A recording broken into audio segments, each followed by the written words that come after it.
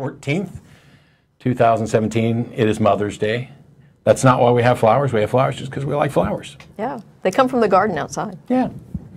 The front garden, not the back garden, which would be the backyard. Uh, never mind. I, I'm off on, on weirdness here. Uh, I got a handful of announcements uh, to get out of the way. First of all, welcome to the show. This is a live call in show. Uh, the number appears directly above Jen's name.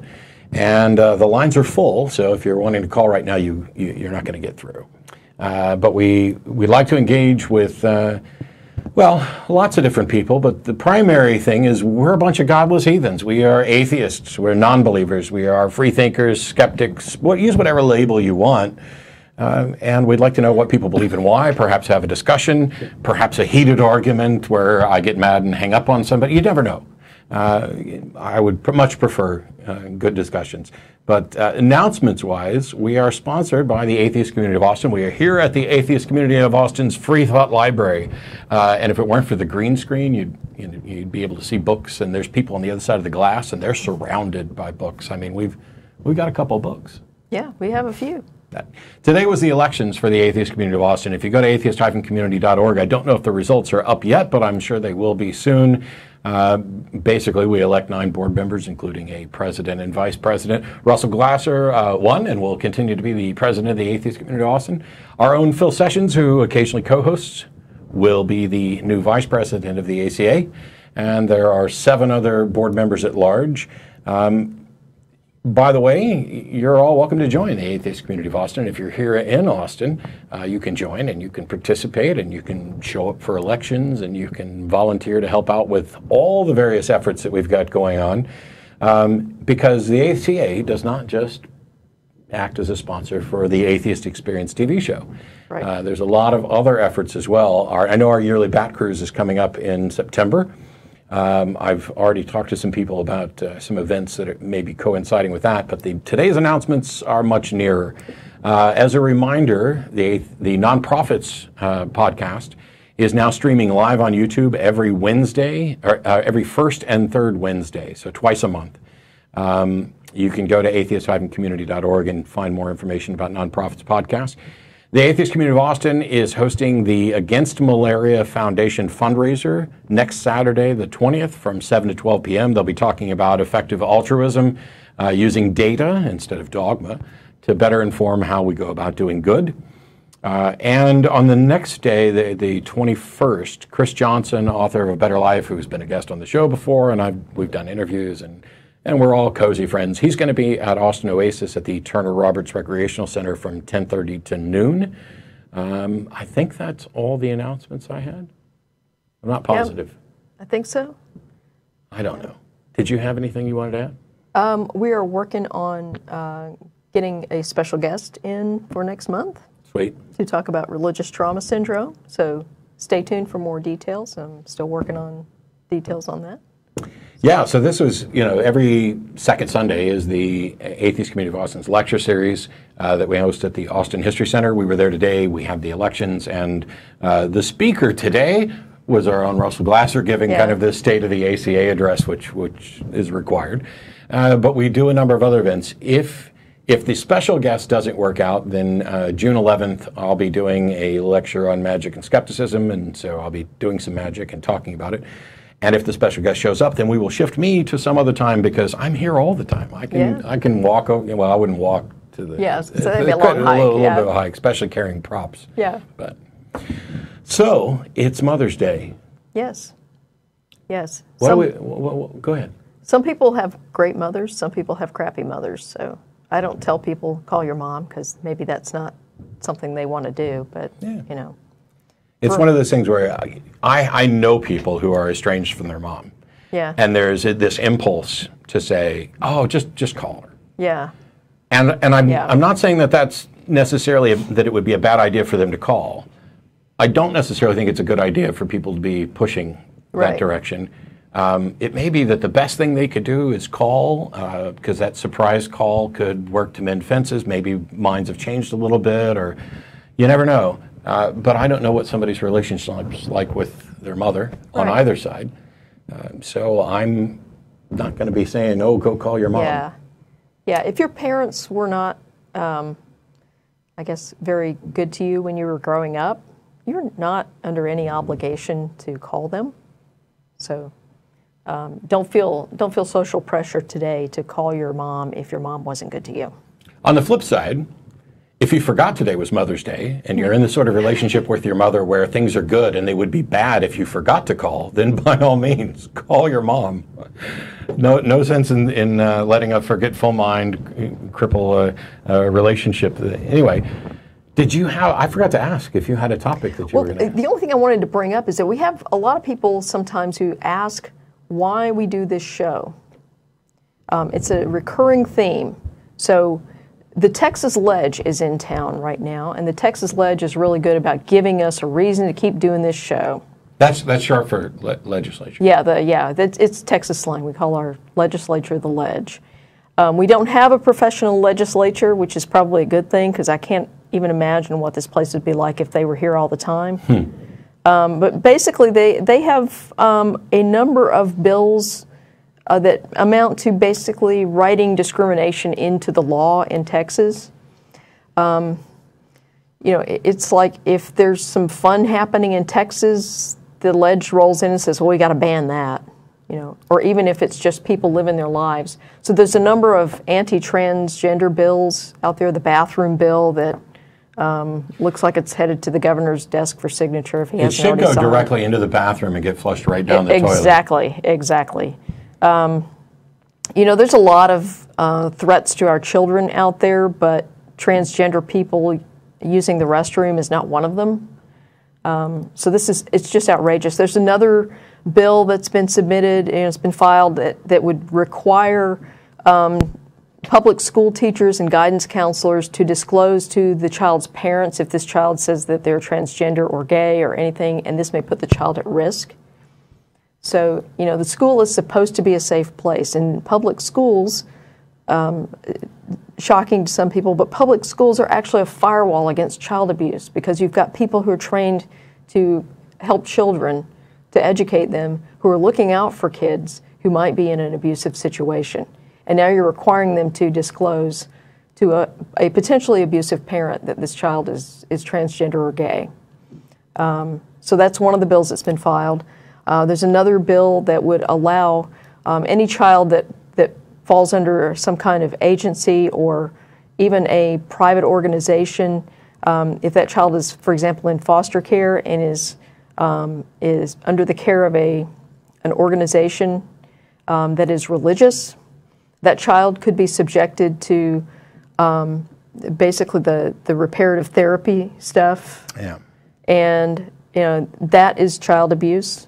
Um, kids kill themselves when they're subjected to that sort of thing. So that's one of the things that's happening. Um, the other one is that um, there's a bill that's been filed that uh, would allow uh, religiously affiliated agencies that take state money to discriminate against people for uh, people who do not follow their religious beliefs or who are gay or um, there's like a laundry list of stuff. If it violates their sincerely held religious beliefs, then they can discriminate against people, including placing children at risk in foster care. And the, the um, excuse for this bill is that it, it opens the possibility of these agencies participating in helping children, and therefore more children will be, you know, taken out of abusive situations. In fact, it does just the opposite. When when a kid needs a foster placement, um, I don't think the kid really cares whether they get placed in you know an environment where it's a a married Christian family versus you know a single lesbian mom or you know a single gay dad or a couple or whatever. The kid just wants a safe place, um, and this this law will not help address the problem that the Texas foster care system has. It just places more kids at risk. It's, it's really kind of strange.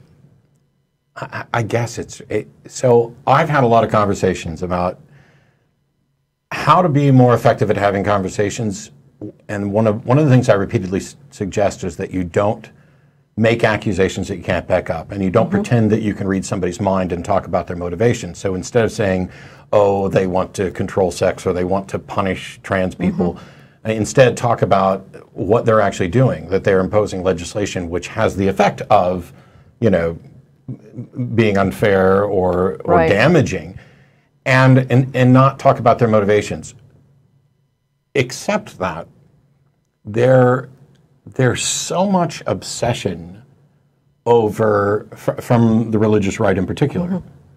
over what other people are doing Yeah. about how they identify, about whether or not they're having sex. It, it's, it is an obsession uh, that I, I think just can't, cannot be healthy for anybody. Right. Uh, and if that's the one, there are real big issues that um, reasonable people can potentially disagree on. And there are some big fights and, and, and legislative issues that we should really focus on, you know, and there are changes that are going to be coming in the future. And if we can't get this, this sizable chunk of the population to stop obsessing over who I'm having sex with or not having sex with, I don't know how we have those other conversations. Yeah, and and they're willing to put this idea that uh, they're that somehow their religious liberty is in jeopardy if they can't discriminate against a qualified foster parent, for example, or a transgender person who just wants to relieve themselves in the bathroom. Yeah, You know, I heard today that Oregon may be having um, gender-neutral driver's licenses. Mm-hmm. That they may have a non-bar, but you so you would either have an M, an F, or an X. Essentially, Yeah. is what they're, they're going with. Um, curiously, the discussion there didn't seem to be much objection about this on even reactionary grounds. It was all about how much is it going to cost for us to change the you know Right. because everybody's high in Oregon. And, and they're all fine with whatever you want to do. I mean, yeah, uh, but it's the sort of thing that when I first heard it, I had a reaction, the sort of uh, visceral, trained reaction that many other people do. That was like, "Oh, come on, is this a bridge too far to? Isn't aren't we going to have a rash of people who just go ahead and put X on there? And what does that do? You know, let's let's start going down. The, oh, we have men's prisons, we have women's prisons. Do we have to have X prisons now too? And it took I, probably 15 seconds of sitting there mulling this over to go, what the hell are you doing? Uh, this is not a big deal because if I'm truly if I'm truly going to treat people equally, uh, then I don't just need two categories. I need as many categories as there are people who want to put themselves in categories, Right. and it shouldn't matter to me.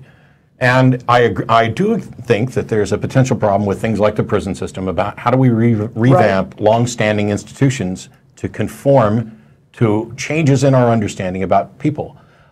I'd like to think that we're up to the task. yeah. Well, and and the, the prison thing is interesting because I mean, part of the reason we have you know men's prisons and women's prisons is a recognition that if you put female-identified persons in with male-identified persons, the female-identified persons are probably going to get raped. I mean, a lot. And that overlooks the fact that in men's prisons, there's a lot of male identified people that are getting raped. And in fact, it, there's, there's this thing, and I I can't remember where I read it, but it was essentially saying that if um, a juvenile offender went before a judge and was sentenced to 30 days in prison, that was basically a sentence of rape. Because you put a juvenile offender into an adult prison for 30 days, they're going to get raped. And we should be outraged at that. We should be doing something about this because there is no provision in any U.S. law that says that the, the penalty for committing any crime is that you get raped. Yeah, and I'm not going to pretend to know what the solution is for, with regard to the the penal system and other stuff, um, but I, I do think that we're capable of having those conversations Yes. and coming to reasonable solutions. Um, it's not like it's not like the, our penal code, our, our prison system is this shining beacon of awesomeness. Uh, it's probably due for some serious revamps Yeah. Anyway. Yeah. Uh, but in any case, it just it's it strikes me that the things that people, I almost think that it's a way of avoiding the bigger issues that they don't have any thoughts Right. or or ideas about, and just focus on the one thing. Because if I can keep this from changing, I don't have to worry about the ten changes that are going to come after it. Right. Uh, that that that is, you know, not to pretend like I can tell you what their motivation is, but I I've seen people who seem to be so fearful of a change five steps down the line that they see right down that slippery slope and they want to say, no, no, no, we can't change this one thing because that would cause me to, I just can't process it. I have to think, and then what about this and what about this? And if we if we allow women to marry women, what? Why are we? What, won't we have to let people marry kangaroos next? uh, it, you know, it's it, it's the sort of thing that I, I, find incredibly frustrating. Now, I still think it's a bad idea to go around and assert that you have in fact discerned someone's motivation uh, because you know, if you take things like uh, uh, abortion, a woman's right to choose, when I was opposed to choice, um, it wasn't because I wanted to control women's bodies or uh, control sex or punish people for having sex. Those were those motivations never entered my consciousness. I bought into a bunch of bull, and if somebody had come up to me and said, "Oh, you just want to punish people for having sex," well, now you seem absurd. But when somebody comes up to me instead and says, the things you're advocating have the effect of punishing people for having sex, and you don't seem mm-hmm. to care about that as much as you care about whatever your position is. Okay, now all of a sudden I have to do some serious thinking because you're no longer obviously wrong to me. Yeah. You're, you're now talking about what I'm doing. And I, I, I, would hope that we can start, you know, or continue to focus on what people are doing. Yeah. But you want to get to some callers? Absolutely. All right. We have uh, Shaun in Paw Paw, Michigan. Thanks for waiting and thanks for helping us out with the call screening test earlier. Oh, no problem. No big deal. What do you got for us? Can you hear me? Yes, we can we, hear you just we fine. can. yes, I'd like to bring up uh, IEG, Intelligent External Guidance, into this uh, equation. Into which and equation? Asked, well, basically, intelligent external guidance is I'm saying that it's a fact that both Matt and Jen, their existence today is because of intelligent external guidance in their life. I, I agree. They, I exist today because my in externally intelligent parents had sex. Yep. I'm glad we're on the same page with that. Um, you guys you guys acknowledge that so you guys also acknowledge that you guys are part of this uh, universe as well that you're intricate and intricately interwoven with this universe that you're part of this universe. Do you agree with that? Well yeah we're part of the universe. I, I would agree. I'm part of the universe. This is this is like stellar because we're in complete agreement so far. Yeah. Excellent. So since we're in agreement on that so for eh, now if someone brings to you guys hey you know what? There's an intelligent creator behind every bit of it in the uh, rudiment, rudimentary stage of this universe when it was actually coming about, when it, when it was coming into existence. Mm-hmm. If someone said, well, there was an intelligent creator behind it, looking at yourselves and weighing yourselves into this equation, you could not say that, well, we know, we, we know for a fact that there's not. No. In, in fact, you have to say that you know there's a possibility that there was an intelligent creator behind it all. Uh, I won't say that there's a possibility. I'm saying that we can't demonstrate that it didn't, that it, that it isn't the case. But that doesn't mean that it happened or that it's possible. Those are things that. Right, well, those are things. Right now, that, those are things, Shaun. Those are things. Yes. That, that, that it is possible and that it happened, those are claims that need to be demonstrated. Exactly. Uh, well, right now we know for a fact that it happens right now in the here and now. There's not a human being on this planet no, that can make no, it out of so, Shaun, this is this is the where, where you're confusing. The reason I'm okay with the idea of intelligent external guidance in a scenario is because we have a demonstration of it. My parents had sex. They are intelligent. They are external to me, and this is the case. But that doesn't mean that there's an internal, an intelligent external guidance behind everything but there's that possibility where you can't. How do you know no. that? It's, how do you know that it's possible? Because of you. You just said you agreed with me that you exist today. You were never made out of your infancy stage without so, intelligent external so I can, in your life. I can light a match right here and demonstrate that I'm able to light a match. Does that mean I can light a match in outer space? Well, not really.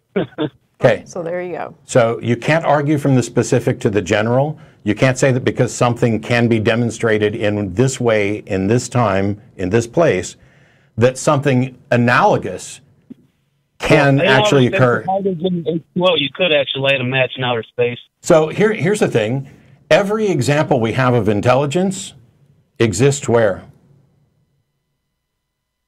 It actually within creatures on this blue marble. Yeah. Even monkeys yeah. demonstrate uh, signs so, of intelligence. So, so what makes you think that, that there is intelligence beyond this blue marble?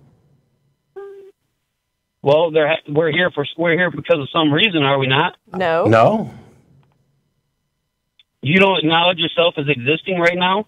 Of course we, now? of course we exist. The point of objection that Jen and I raised was not to our existence, but to your assertion that we exist because of a reason, as if there, you, you were you were implying some sort of purpose that would require an actor to, to make this decision. Can I ask you guys something right now? Are you guys both right now intelligently and intentionally directing your thoughts right now with me on this on this show? As far as I can tell. Yeah.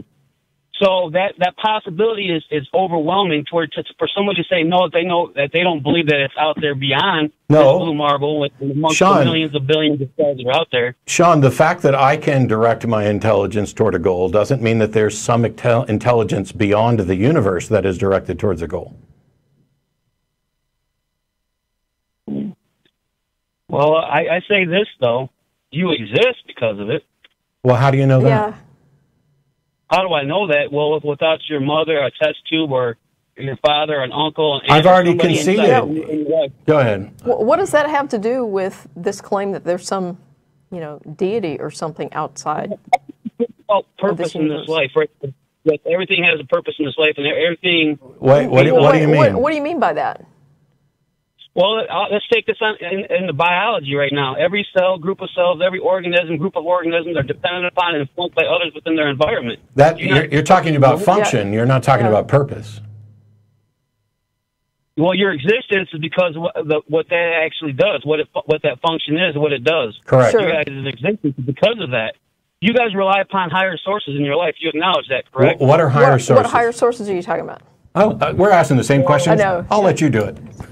I'm just going to. All right. Well, higher source, just to break it down and, and use the main higher source right now, the sun. Without the sun, you would not exist. That's But not a higher source. That's a celestial body. It's a star. The sun's not dependent. Would you agree that the sun's not dependent upon you for its existence? That's correct. But you are totally dependent upon the sun for, for your existence. Yes, as is everything be a higher on this power, planet. It doesn't have to be an intelligent higher power, but it's still an intelligent power.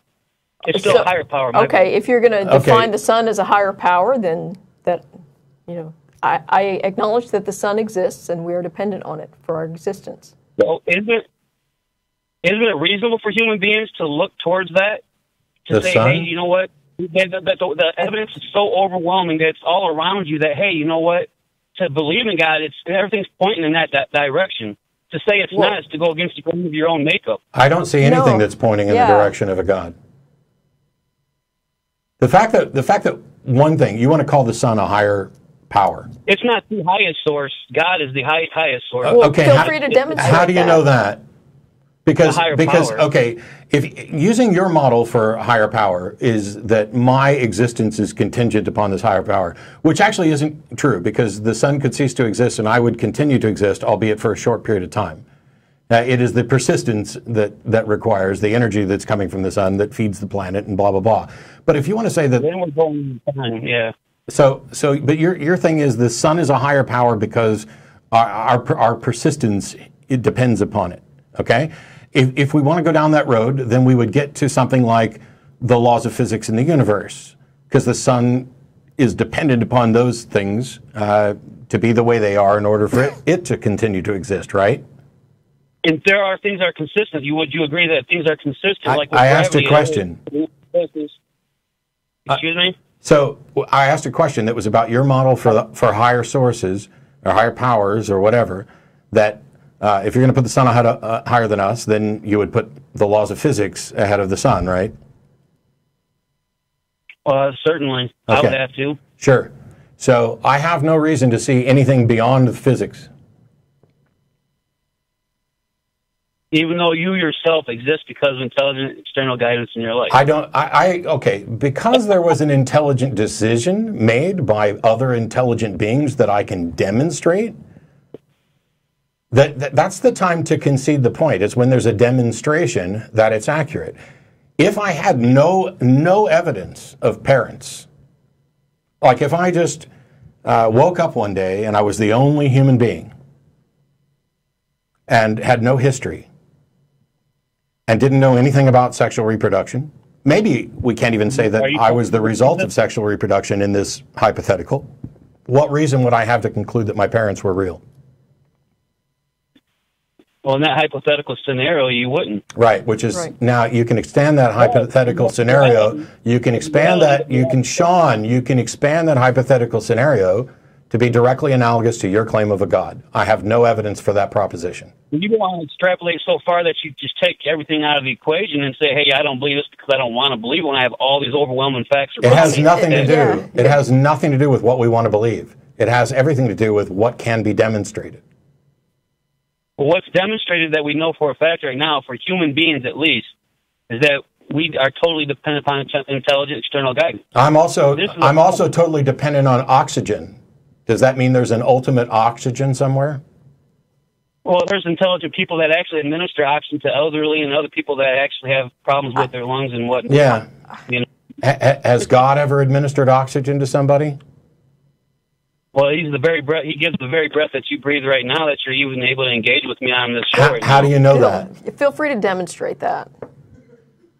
Do what? Demonstrate that? Yes. Yeah, yeah. I mean, you can say it. I can say anything. I can say that it's not a God that, that is responsible for life, but it's universe creating pixies, and, and they also deliver the oxygen to me as well. Like, mathematically, this is what I'm saying. Mathematically, there's not a human being on this planet that can say no. There was no intelligent external guidance behind it all. Okay, so However, what? With, the fact that, I- the facts that we have in here It- now, that, it- that we Shaun? know for a fact that humans are totally dependent on it, Shaun, we can say that it's the mathematically it's in the equation. Yes. is there a human being that can definitively say that it isn't universe creating pixies? Say that it's not pixies. Yeah. Uh, I, I, I don't think they can actually. Okay. Okay. So now we have two. Now we have Shaun, Shaun, Shaun, Shaun. Now we have two competing hypotheses that serve as an explanation for the universe. And your argument for God is that basically nobody can prove it's not God. And then you just But I want igno- to do this, though. Shaun, What do you call it? I'm gonna I'm gonna put your ass on hold if you don't let me finish my sentence. I didn't tell everybody you're going to hang up on me because you can't handle facts. Oh, please. Hey, jackass, present some facts and let's see how well I handle them because you're the one who just acknowledged that the competing hypothesis of pixies me- is just as me unfa- is just as unfalsifiable as your God proposition. We've repeatedly asked you to demonstrate it, and all you've done is dribble on about how we can't prove it's not God. Here's your last chance. Demonstrate it. To demonstrate it, Yes. to Yes. simply say mathematically, for you to exist today, there was intelligent external guidance in your life. I don't This think you fact. understand math. Yeah. I'm saying that there, there wasn't. If you guys want to throw pixies into the equation, if you want to throw a fly, flying How can you monster, dispute the pixies?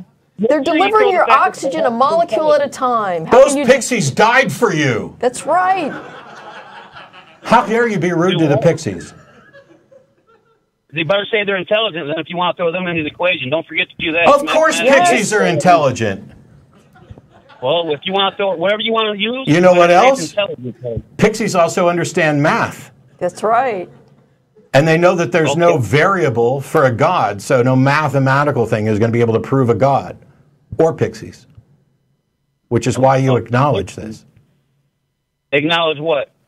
You acknowledged a moment ago when you said that mathematically speaking, nobody can prove that it wasn't a God. Also, people can't prove that it wasn't pixies. So we have two. Where's those intelligent ones go? Sorry? Intelligent pixies. Make sure you use that. Intelligent. Oh, for fuck's sake, pixies are intelligent by definition. I've already acknowledged that. The issue here. Can you say that it's a possibility that got that there's intelligence? I'm not. I'm not saying it's a possible. Oh my God, Shaun. Shaun, do, right now. Shaun, do you know what unfalsifiable means? I certainly do. Please, please explain to the class. I'm just bringing the two facts in right now. I'm not talking You explain what unfalsifiable. means, or you're done. Unfalsifiable? Yes. It, it, it can't be proven one way or the other. No, it means that it can't be proven false.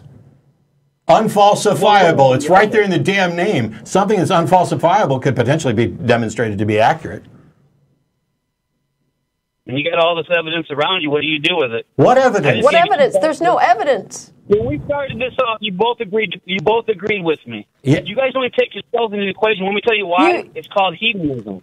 No. That's why you guys Okay. take yourselves into the You remember equation. what? Hey, were you listening when I said to stop putting motivations into people? Because basically, you look like a jackass when you say that we're refusing to believe because of because of hedonistic tendencies, when what we've acknowledged is that you presented an unfalsifiable proposition, and every single time we've asked you to demonstrate it, you duck and dodge and provide, and then you say, "Oh, with all this evidence around you, what evidence?" Well, there's tremendous evidence around you, all around uh, you. We're What you're doing right now. Bring it. What are you doing right now? You're directing your thought right now. Yes, and the Yes. fact that I can doesn't mean that you can. I'm definitely doing it. I, I, I uh, doubt Make that. sure you feel all the- all- I all doubt that. As a matter of fact, when you do it. I think that you are so far away from directly directing your intelligent thoughts. I think you're buying off on and repeating and regurgitating a script that you have come up with prior to this. Because when we ask you something that doesn't doesn't fit in with what you want to say, you don't answer. Ask ask another question right now. Ask away. Please present evidence that would confirm the existence of a God. You mean tangible evidence, right? Physical, corporeal, palpable. I'll, I'll take whatever you Yeah, can whatever offer. you have. Because so far, because so far, I've pointed out, because everything you've pointed out so far, I've demonstrated is not evidence for a God. Right now, can I, can I, can I point out how dishonest that question right there in itself is? You want tangible, palpable evidence right now from me to you when I can't give it to you over this video screen. Actually, If someone you're the come up to you one. say, "Hey, Hey, Shaun, you're the one that said tangible, palpable evidence. I believe that I said I'll take whatever you've got. So bring it or get off. You agree with it. You already agree with it, and I thank you for that. You, I, my case is proven. You no, agreed to we it. agree. Sorry. You can't say you know for a fact there is one. I can say that there's a great possibility. That Okay. We, we agreed that we're part of the universe and that we have You're parents who had sex. Are you there? There's intent in population. Whether it's good or bad, that's another matter. Okay, let me ask you this, Shaun. Let me ask you this, Shaun. If I were to demonstrate an intentional act, from that, could you conclude that there was some other intentional act in another set of circumstances? In another set of circumstances, Correct. Like for example, Like the rippling like for example, are, are you watching? Shaun, are you, Shaun, are you watching? Or I'm you, seeing you guys. I'm okay. right now. So I'm holding up a pair of sunglasses. I don't see that yet. My computer's probably delayed. Okay, you'll catch up. You'll catch up. I'm holding up a pair of sunglasses and I'm going to throw them. Now, we can say that that was an intentional act and we can agree that it was an intentional act to throw those sunglasses. Does that tell Okay, you, I'm, I'm following. does that tell you in any way whether or not the rock that fell down the hill earlier was the result of an intelligent act? I, and you know what? That is awesome. Only if I you know. personally, personally tell me why you did that, then I would know. Hence, most of our relationships with Christ is No, no, not- no, no, Wait, no. what is- I, I, uh, you directly observed me taking an act that we both would agree was an intelligent, directed act, right? Well, you know there is magician type deals you could do, but I, I've seen that happen right now. Correct. I just seen you do that with the glasses. Okay, w- so we, are we in agreement that me throwing those glasses was an intelligent act? I wouldn't. I wouldn't say it was intelligent. All right, when I hang up on your ass, is that an intelligent act? I could say yes, it was an intelligent act because you were demonstrating something. I hope you had some reason of demonstrating that. Holy crap, Shaun. I threw some glasses. Would you agree that that act was the result of an intelligent agent taking an action? I, I'd say you're intelligent. You just took an action. Yes, sir. Jesus fucking Christ. Shaun, I got a question for you. Do you, Did you not just intelligently grab those glasses and throw them down and demonstrate? That's all I'm something? asking you. Uh, would you agree that when I threw the glasses down, that this was the act of an intelligent agent? I'd say so. Yes. Yeah, cool. Now we're in agreement. This, this was so simple. However, a little while ago, there was a big rock that came rolling down a hill. Does my throwing the glasses tell you whether or not that act of that rock was the result of an intelligent agent pushing it down the hill or something else? Well, there's many variables in that scenario. Right, but here's the question It's that you're yes not or no listening to. question. Here's the Sitting on a question. Shaun, Shaun, stop. Listen to the question. Shaun, listen to the question carefully. Does the fact does does the fact that you and I agree that me throwing glasses was an act of an intelligent agent tell you in and of itself whether or not the rock coming down the hill was the result of an intelligent action? I already know what you're getting at, and I, I never once said that every. Is that that why you're not answering the damn simple yes or no question that you know the answer is no? It, it doesn't clearly demonstrate that. You, I don't see the rock for one. That's just something you're illustrating, and I'm, I'm you know concocting in my mind that you're you're, you're speaking it, and then Goodbye. Yeah. I, The, the answer to the second question is no. The fact that I threw glasses doesn't tell you Yeah. whether or not a rock was that came down a hill was intelligent or not, which also demonstrates that the fact that we agreed that we had parents who had sex to produce us does not mean that there's an intelligent being outside of the universe serving as an ultimate director. You, you are arguing from the specific to the general, and that is fallacious. You cannot simply say that because I can light a match on Earth, I can light it in outer space. or even on Mars. I'm glad you think you proved your case. Uh, I beg to differ. Yeah, there was a reason he didn't want to answer that question. I think it- the first reason was he didn't understand it and was just suspecting that everything I asked was Yeah. going to be a trap, because it is. Yeah. And I say that Well- both humorously and seriously. There are, there are a lot of, I've had lots of conversations over the 12 years on the show. Um, you could view almost any question that I asked in an argument as a trap because it's designed to expose fallacies in the arguments that are being presented. And so, if your goal is to preserve your fallacious argument at all costs, you avoid those traps. But if you actually care about what's true and accurate, and if you care about following the evidence and reason where it leads, then those questions aren't traps. What they are is big lighthouses that are designed to lead you away from the rocks and towards reality. And if you are so resigned to piloting your ship on every whim and whimsy, you're going to hit those rocks. It's not a trap, it's a life preserver.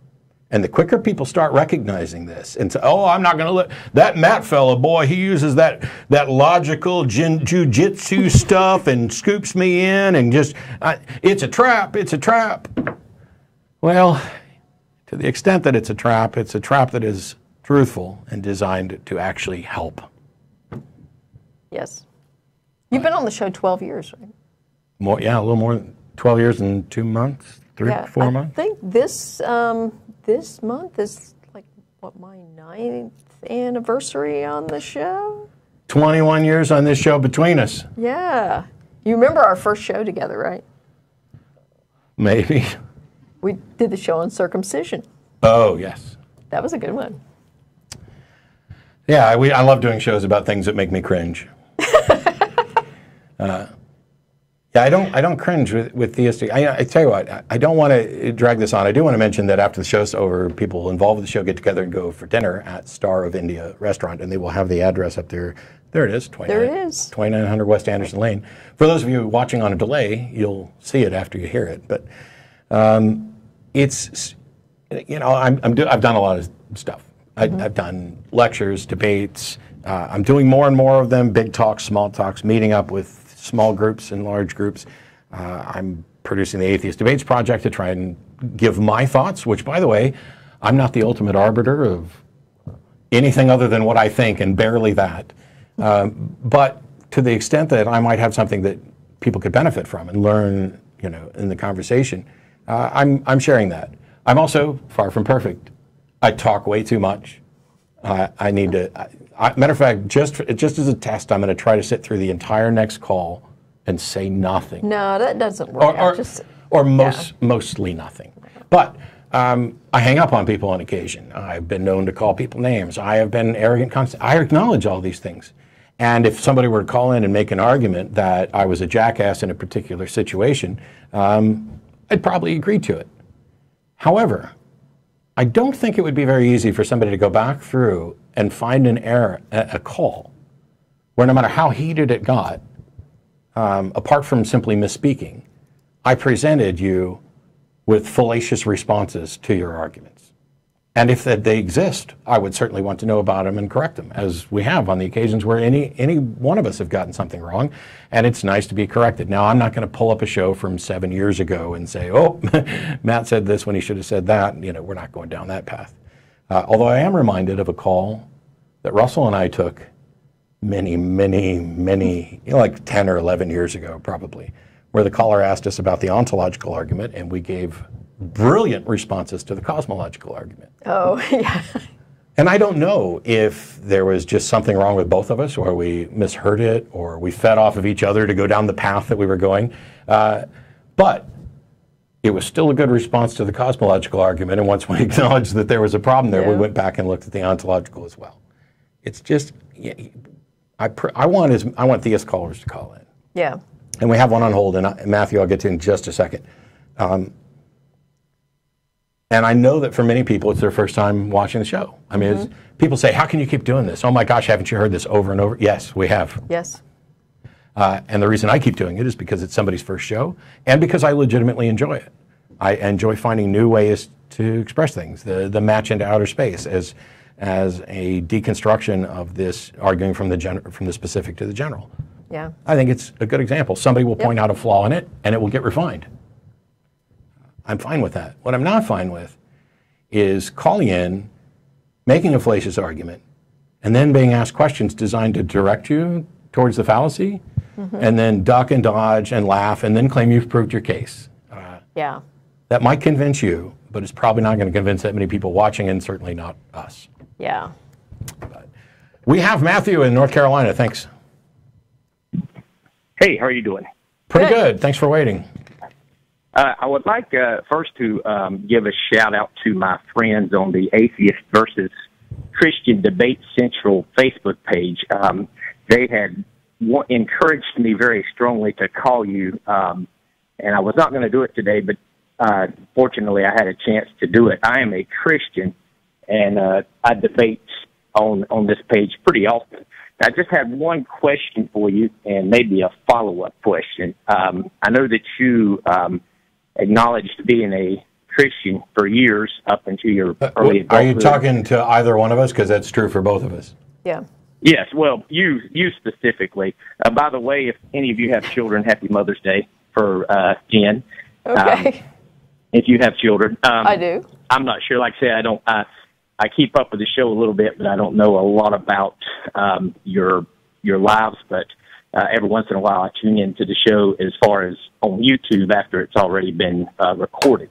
But my question for you, Matt, was uh, since you acknowledged believing Christ as a child, Uh-huh. um, well, hypothetically as an adult. speaking- okay, yeah, up into an adulthood. Um, uh, hypothetically speaking, if you were to die and find out this everything in the Bible is true, could you ever stand before God and say, "I never had enough information to believe you existed"? Yes. And, Okay. and, and moreover, if I were to die and find out that everything in the Bible is true, I would have enough integrity to identify that God as a moral thug. I've heard that plenty of times from atheists, so uh, uh, I'm I'm not surprised. Well, So you- you- if, if you- everything in the Bible, if everything in the Bible is true, then God sanctioned slavery, and that's immoral. Well, uh, as far as slavery, I, I- uh, actually, forbid- Matthew, because we because that's my go-to thing that we do over and over again. Instead of, Yes. let's just pretend like I didn't mention slavery, and you can answer your follow-up. Okay. Okay, that's fine. Yeah. Um, uh, so you said that you could stand before God and say, "I never had enough information to believe you," even though you Absolutely. admitted believing in Him as a Yeah. child. Yes, Okay. because it's possible Um, to believe things for bad reasons, and the reason I don't believe is because I found out that I had bad reasons for my belief and could not find good ones. Okay. Now this is my follow-up question, and that's really it. Okay. Um, uh, since um, you agreed that you believed in Him for the wrong reasons, so to speak, as a child um, And an adult. and an adult, um, could you acknowledge that possibly there is a such thing as a no true Christian? As you know, a lot, uh, um, Antony Flew coined the phrase "no true Scotsman." Um, Okay, that's he didn't, but A Yeah. common But- argument. Could could Let- you acknowledge that I did not really understand what I was believing? actually, he might have. Um, you're asking me if I can acknowledge that. I think I think you're asking me, and correct me if I'm wrong, that my view of Christianity when I was a believer may have been the not correct, the incorrect view. Like there, there's some Uh, other no, version. I don't. That's not necessarily the incorrect view because I, I've watched your, um, I watched your deconversion story on YouTube, Mhm. and you said you went before you believed. You said you accepted Christ into your heart, kind of, you know, believed all that stuff, Yes. which is very Yes. common if you study the Bible. We, it it pretty much is open about children accepting Christ, you know, coming to Christ uh, from the mouth of babes. God has ordained praise. They naturally know, uh, according to the Bible, it teaches that they naturally know who their Creator, who God is. Um, and you kind of demonstrated that there as a child. then Uh, I, and I am just trying to. I don't understand your question. So maybe try and phrase it one more time. Well, the, okay. The second, the second part is since you acknowledge believing for the wrong reason, Right. does that mean that you are a not a true Christian to begin with? Ah, okay. Yeah. I actually have a video I posted um, about this, um, speci- and I think it may be, it's on my YouTube channel. It may be called something like, you know, was I ever a true Christian or something like that. I have to look it up. So there is a longer answer to this, in part because uh, it came up in discussions with Ray Comfort. And my answer is Okay. this. If your, your definition of true Christian is someone who actually has a relationship with the risen Christ, then I was never a true Christian. But I also don't believe anybody Okay. else is because I don't believe there's a risen Christ to have a relationship with. If your definition of true, Okay. if your definition of true Christian is someone who is convinced that they have that relationship, then yes, I definitely was convinced. And you know, I think what, probably one of the, the biggest things that'll maybe make this clear for you is I recently did a debate with um, Mike Licona on the resurrection, and I did it at a at, an unapologetics conference in a Baptist church, and mem- and members uh, of my former church, the First Baptist Church of Harvester in St. Charles, Missouri, that I hadn't seen in 30 years, flew down here to attend this debate, and one of them got up during the Q and A to basically say, "Hey, you may not remember me, but you know, back when you were active in the church." We all expected you to go on to great things, and you know all, the sorts of things that you would expect from uh someone in the youth group who everybody expects to be a minister. And his question was basically, "What happened?" So not only was I convinced that I had this relationship, but the people around me, family and church members, were also convinced of that. Um, so whether or not I was a true Christian entirely depends on how you want to define it. Okay. So, um, one last question. As far as uh, this past October, you um, moderated a debate between um, Ehrman and Price, Yeah. and you uh, you had kind of admitted that Ehrman done a better job uh, presenting the evidence than Price did. Um, did. Did any of that persuade you towards, hey, maybe Price is a historical figure, or is that something you're still kind of wrestling with? I don't have any problem with the idea that there may have been an actual person. Um, I think, for me personally, I remain unconvinced of the mythicist position, which would assert something, Jesus did not exist, that I don't think they can demonstrate. My position is there's still a big problem here because if Jesus existed and if he was divine and if he died for people's sins and was resurrected, etc., these facts should be wholly unassailable. They should be the most clearly attested, obvious. There should be no possibility that someone could object. And so while I'm okay with uh, while I'm okay with the idea that there's a there's an actual person there, there may or may not been. There may be several people uh, there.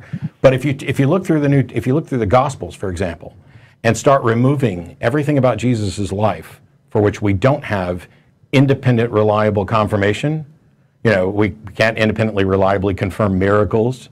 Um, we have no good reason to think that the words that are attributed to him, written decades later, are as accurate as some people might think they were. I mean, I've heard lots of speeches.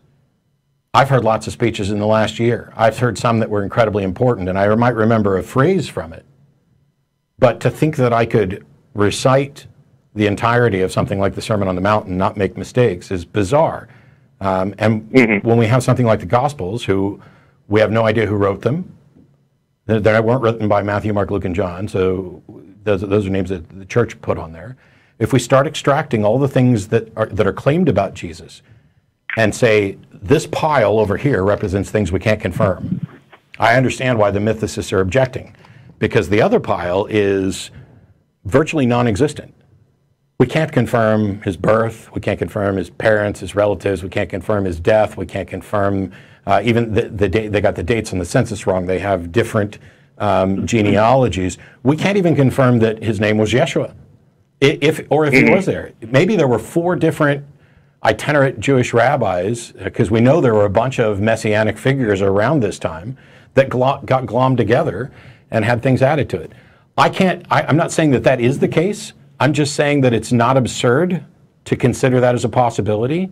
And this is a damning problem for Christianity the fact that they cannot unassailably demonstrate that Jesus was, in fact, a real person, let alone that he performed miracles and was divine, etc. So, I mean, I could concede that Jesus existed. I could concede that he did some of the things that are reported and that we have a somewhat accurate record of things he said. And that still doesn't get me anywhere near concluding that he performed miracles and was divine, or that this divine nature was something that I should care about. Uh, because when we start talking about the idea of substitutionary atonement, the idea that a God would come down and take human form and kill himself to serve as a loophole for rules that he created is already absurd and immoral. So the question of whether or not it's true, I don't side with the mythicists in saying Jesus didn't exist.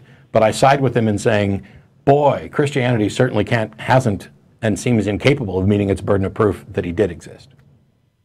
Okay, if if Christianity met their burden of burden of proof, um, everything that you just mentioned, which obviously a lot of that you just mentioned would be could be debatable as far as who wrote the gospel stuff like that, because there are, you know, obviously I'm sure you know about several of the books out there that kind of trace that back and do a attribute um, Matthew, Mark, Luke, and John to the uh, to writing those, which you know that's debatable. No. I'm not really well, interested no. in that at the moment. So no, re- uh, yeah. no, no, not even New Testament scholars within Christianity hold to this idea that Matthew, Mark, Luke, and John were written by Matthew, Mark, Luke, and John. I mean, um, you, I mean, well, you can find now, you can find somebody you can find somebody on the fringe of scholarship, just like you can find somebody on the fringe of scholarship yeah. within mythicism. But even within yeah, Christianity, Wallace, in, in Christian, the Josh McDowell, some of those is ones I'm thinking about, and I know that you Josh McDowell does not. To, if Josh McDowell but, says that Matthew, Mark, Luke, and John were written by Matthew, Mark, Luke, and John, I'll buy you a steak dinner. Okay. Well, here's. Well, I, I can tell you, James but he's still wrong either way. But uh, yeah. uh, but here's my my view, my position on that. Mm-hmm. Because it's not their gospel; it's Christ's gospel. I understand why their names are not attributed to it because we're not we're not actually trying to give them credit for it. We're, this is the gospel of Christ. So what, what, what, what do you mean by what do you mean, not, Matthew? What do you mean by it's the gospel of Christ? It, well, obviously, you know, it's the death and resurrection of Christ. Okay, but um, if I write a book about Elvis, is it my book or Elvis's book? Well, it the, it's would be your book obviously. Right. But we're we're not talking. See, what I'm saying is, Jesus, it, we're we don't worship them. You know, you would be no, acknowledged so, for you would be acknowledged for being the author. Yes. Yeah. But, so does that mean? Uh, does that mean? Does it, even if you never wrote the book about Elvis, it wouldn't change who Elvis was somebody else would have written the book right. But you don't get to assume that my you don't get to assume that my book about Elvis is factually correct. No, I'm not. I'm not saying you get. To, you're an atheist. Obviously, you don't. Obviously, I don't know what being an atheist has to do with whether or not my book about Elvis is factually I'm correct. a Christian. I, I, I obviously I take it on faith that everything okay. written is that you know the as as you as you then, know as a then, Christian, the then we can Matthew live by faith. Matthew, we, we can have no conversation then because if you're going to take it on faith that this is accurate, um, is there anything that you couldn't take as accurate based on faith? What do you mean in the gospel? In, anywhere. Anywhere. Couldn't you use faith to just be an excuse to believe whatever you want? Well, yes. Okay. so, you, so that, that, Matthew, means that faith is not a pathway to truth, and not a reliable pathway to truth, right? No. Okay. No, it's not a pathway to truth. Okay. Like so why why ago, why may be true? Matthew, why why then would you say that you accept this thing, the single most important thing, on faith? Because at, before I became a Christian at age 19, I read the Bible before there was a lot of things in it that, well, you know, this is this is kind of interesting. I I- I don't really quite understand it. Once I accepted Christ as my Savior, I started understanding it much more. Started studying it more in depth, um, and as I as I started looking at the world through what the scriptures and, and my atheist friends would laugh at me just because I actually say I put my Bible glasses on when I look at the world. And what I have found is what the Bible pretty much says about the world has been demonstrated, as far as I can say, pretty accurately. Such Um, as?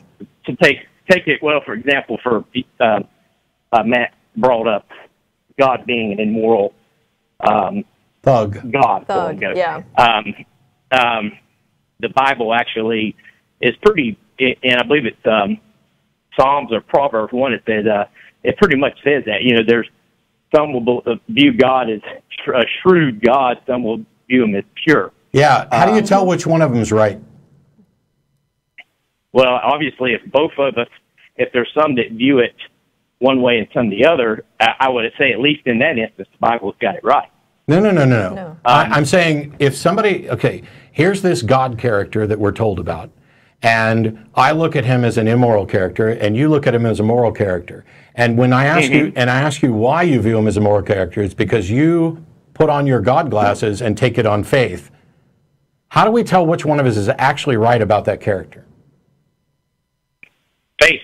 That's all. You you but you take. I don't. I don't. I don't right. need faith, and I don't have any use for faith. And by the way, I don't think you do either. For example, let me ask you this: Is it morally correct to own another person as property? Um, no. Okay, then why does the Bible not only allow it, but describe all the circumstances you would need to justify it?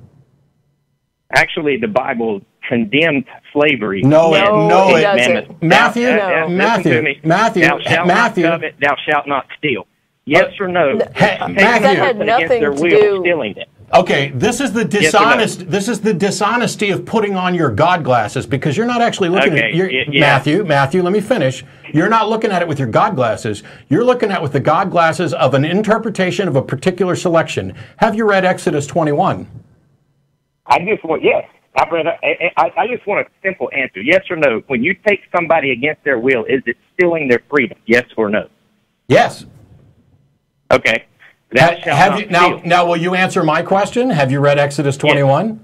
What does Exodus 21 say about slavery? I don't know. You have to quote the verse. Oh, it's the Oh, whole it's the whole Yeah, damn it's the whole chapter. And just for you, I'm going to read Which it. one do you? I'm going to read Okay, it so ahead. that you don't say I'm taking this out of context.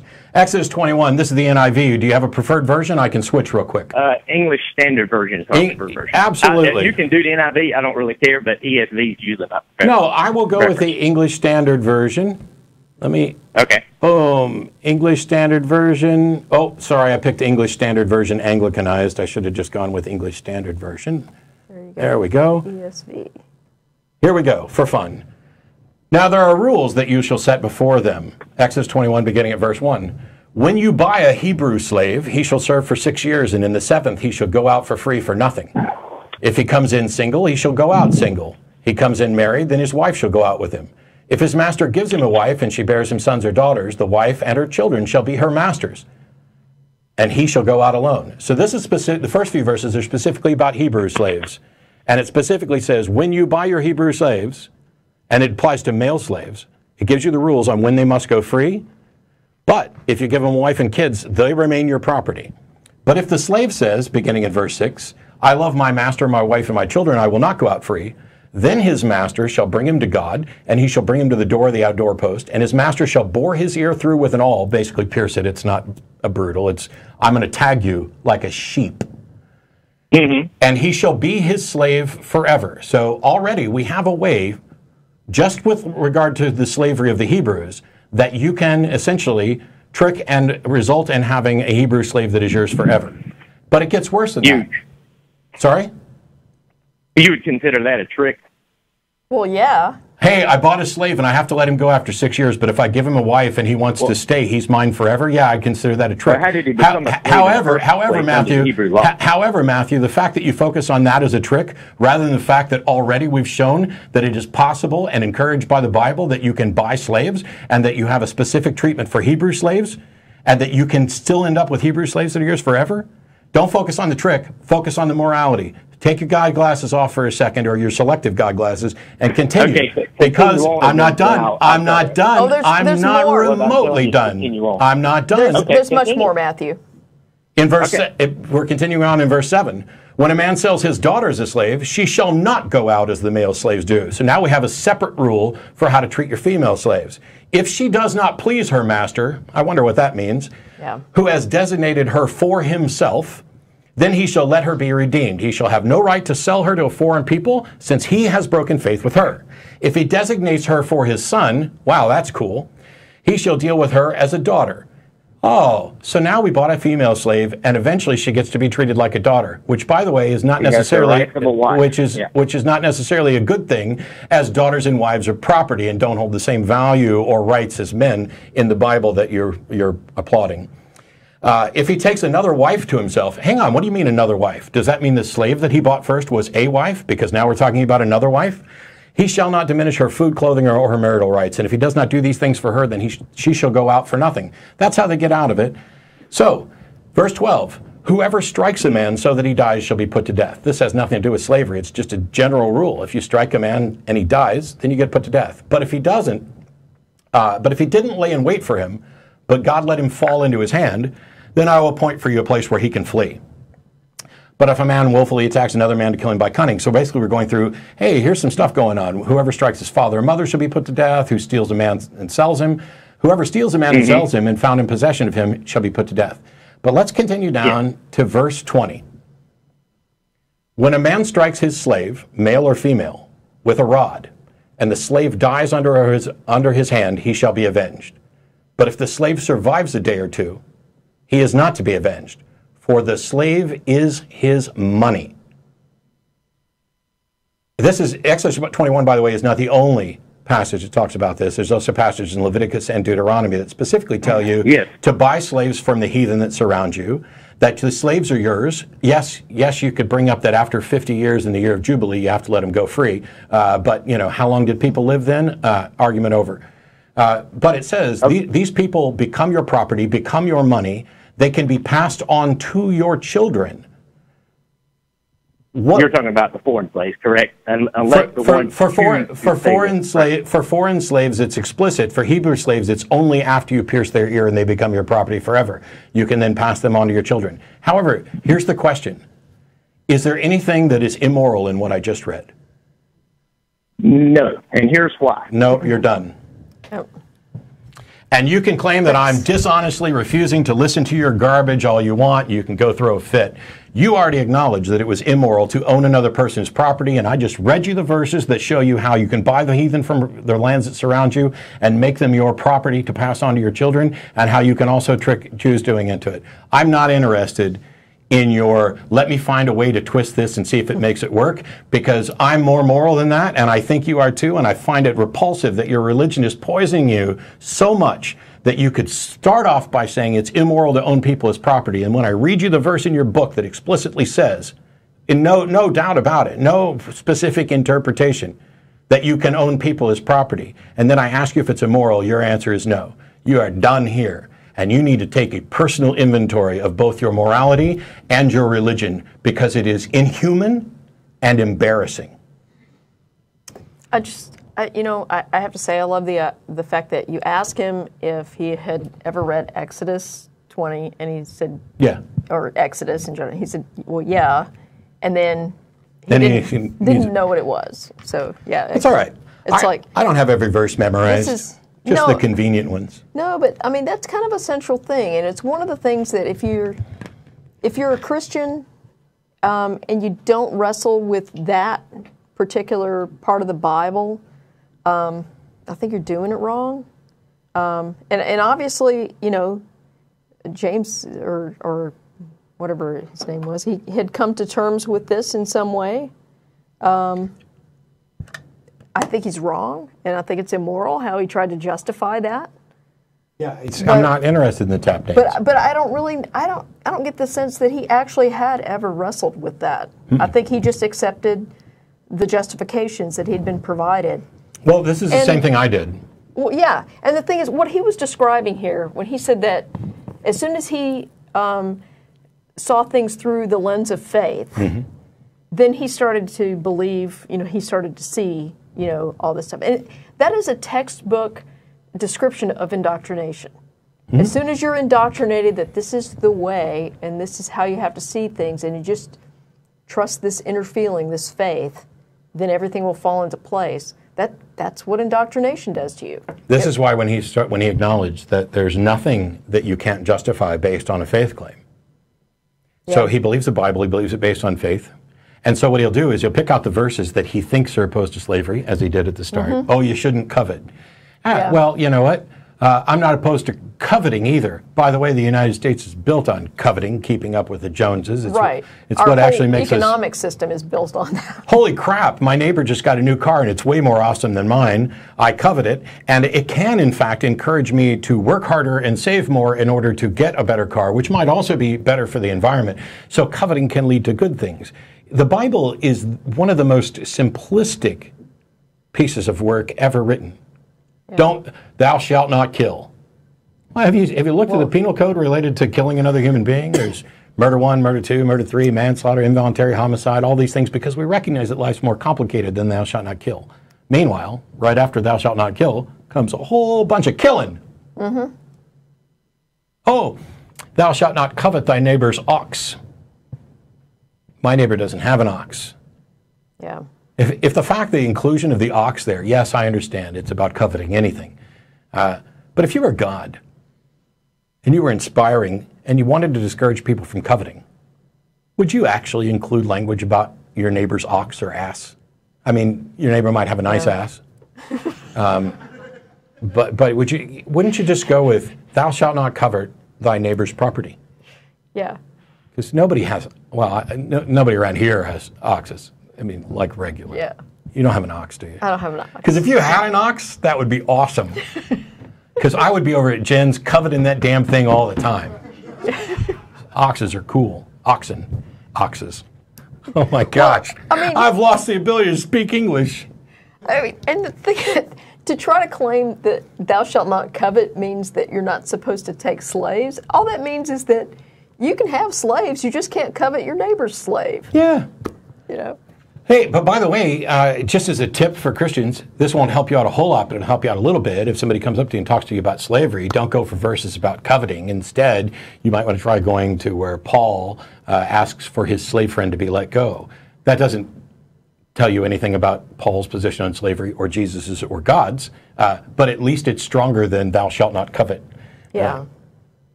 I, you know, I missed, I, I missed the, the one question that I love to ask um, and should have. If it's not immoral, James, will you be my slave under what the Bible says I'm allowed to do? Would you willingly agree, not even just let me purchase you and point to the Bible and say you you have to go along with this? Would you volunteer to be my slave under what the Bible says about slaves and what I have a right to do to slaves and what your rights are. I know you're not on the line anymore. That was a dramatic pause because I don't believe any of any person would do that. Just like your immediate impulse was to say, of course it's not moral to own people as Yeah. property. You are better than your holy book, you are better than your God you have benefited from an enlightened society around you that discovered, unlike the people who founded this nation, that slavery is immoral. Slavery is a stain on the United States and every other civilized country. And where it still goes on in some form or another, it's an abomination that deserves to be opposed nonstop. Almost everyone recognizes this. And yet, when people get involved in trying to defend their religion, they will tap dance and twist and turn. Well, that was only moral then. Okay. Yeah. When did it stop becoming moral? When did it stop being moral and why? Why was it okay back then? Yeah. Did Was it okay to rape back then too? Yeah. Did God change? Yeah. Did the unchanging source of morality change at some point? It's it's a bizarre kind of I don't know. I, I, have just been rambling on about this, and we need to get, to get to some other callers. We got James in Kansas City. Thanks for waiting. Uh, hi, how you guys doing? All right. I'm exhausted. I understand. Uh, Jen, happy Mother's Day. Thank Very you. Very thrilled for you. Thank you for all you do. For I'm a mother being too, mother. just not of the same type. I've heard you've been called a mother something many a times. That's a whole other conversation. Um, I have two things that I wanted to get to if we have time. If not, I completely understand. Um, first, uh, I recently had a son, um, and uh, Congrats. he's a Yeah. month. Thank you. It's a good thing you Um, didn't have a daughter. Oh, I'm sorry. I was still in Bible mode. Yes, we we- we're, we're not back on slavery, hopefully. Um, but uh, uh, he's about a month old, um, and I I've been didn't didn't really give much thought to religion one way or the other. I guess you'd call me a non-believer, but um, as Jen can probably attest to, when the baby isn't sleeping, you will turn to anything to get them to sleep, and especially when you're sleep deprived. Um, I turned to prayer um, just a general prayer. I don't know particular God in mind, um, and uh, and I started flipping through the internet and found your show. Well, every time your show comes on and Matt starts speaking, the baby falls asleep Okay. like clockwork. So I- I don't know if that makes Matt a god or God answering a prayer, but for whatever reason, every time your show comes on, I put it on for him. He falls asleep, guaranteed. Cool. Would you consider that a proof of God? Um, I- I'd love to go along with the joke and say yes, but I won't. yeah. Um, well, it's it's just it's one of those things. I mean, I, obviously I put a little bit of satire in it, but it is one of those things that I I had no other recourse, and I didn't, and I kind of fell back on you know original you know learning about the you know teachings and all that, and kind of saying, eh. Well, ba- No, it- babies it- love me in general, and I think it's because they think we have the same barber. Um, but for whatever reason, um, I've had many people hand me their child, and it just falls right, right asleep. Uh, I'm, I'm glad that doesn't happen to the people on the other side of the glass, or I'd have to quit the show. But yeah, babies, cool. Get some rest. Um, yeah, I just I don't like I said. It's just it's one of those things where I'm not 100 percent sure what it is, if it's your soothing voice or or whatever. But he just he falls asleep every time you're on, um, and I, I don't understand it. Uh, the second point that I wanted to ask about was Matt. I had heard on a few of your episodes uh, you said that it is not an atheist's job for um, uh, for proof against God, Correct. although you could do it but I've never actually heard you do it, and I apologize if, if you if you have it in another episode or something I've never seen. But can I actually hear your argument for against God? No. Uh, so, so, so here's here's the thing, and I will try to do this as quickly as possible, mainly because I've talked a lot. Um, it very much depends on which God we're talking about. Uh, but I'm writing a book called If I Were God, and one of the goals of this is to go through and show how the world that we live in doesn't make sense under almost any God proposition. Um, that there's some conflict there, no matter how we define God, uh, unless we define God as just you know kind of like if it's so ill-defined that it could be anything. So there's there's the weak atheist position of I do not believe that a God exists, which it probably better phrased I am not convinced that God exists. Then there's the strong atheist position, which is I am convinced that God does not exist. And those are subtly different. It's the difference between I'm convinced you're guilty and I am not convinced that you are innocent. That that type of thing. Um, Right. The way the way I look at it, the way I look at it is this: if you take the, we know that we know that all the claims about various gods can't be true because they are in contradiction with each other. And so we need some way to delineate which of them might be true, um, or which of them, if any, is true. Now, most of them have this idea of a God that um, for, for all the ones that have the idea of a God that cares about us and has some important message for us, um, those gods don't exist. Because if they existed, that would be in conflict with the fact that there's so much confusion about which God exists. It would be very easy for a God to reveal himself or herself to everyone. And the fact that this hasn't happened means there isn't a God that actually cares about clarity about the God question. So that throws out all of the organized religions. That throws out most conventional, nominal, classical theism versions of, of, of uh, religion and God. Uh, and it ties in with essentially the, um, the argument from divine hiddenness, which I've talked about and actually have a, a video about on my channel as well. For the other And, type, and I apologize, I don't know what that is. yeah, the, well, you can go to my YouTube channel, youtube.com slash sans deity, or you can just Google Matt Dillahunty divine hiddenness, and you'll find the video. Um, it goes into detail on that argument. So that leaves the non interventionist gods, the deistic gods, the ones that may be malevolent or don't care about us or are intentionally hiding. And the thing is, a God that is intentionally hiding is, from our perspective, functionally identical to a God that doesn't exist. And so I can't demonstrate that that God doesn't exist because it's an unfalsifiable proposition. It's, it's something that I, I could not possibly show uh, the difference between.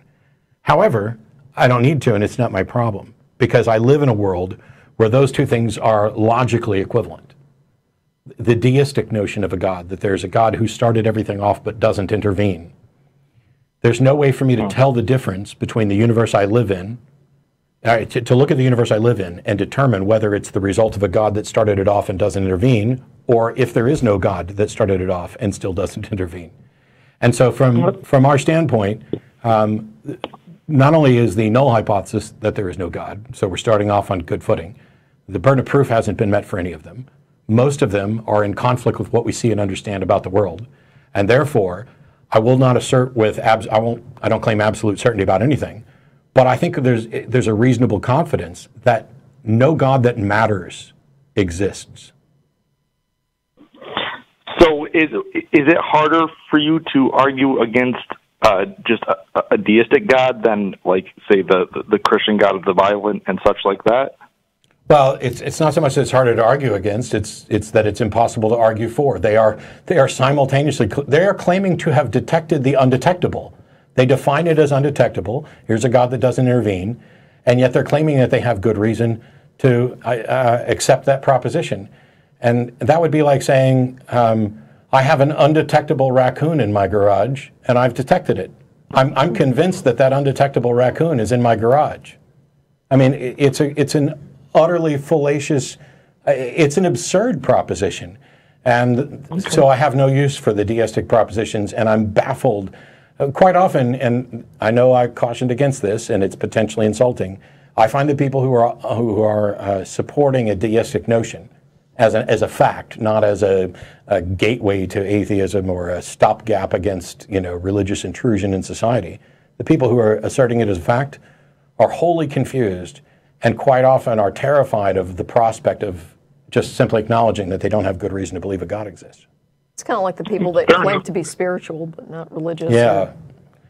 Oh, yeah. Well, Jack, what is what is your what is your argument that um of for there not being a God, or are you on, along the same lines as Matt? Yeah, I think I think Matt and I are actually in complete agreement on this. I mean, the, the burden of proof hasn't been met.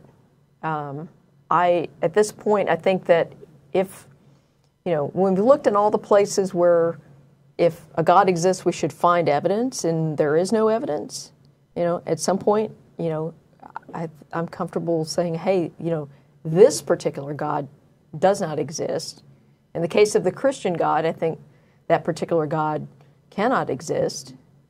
Um, so, Although, you know, although to be fair, there's not a Christian God. that's true. That's true. Yeah, I mean, There's almost as many ideas about a Christian God as there are Christians.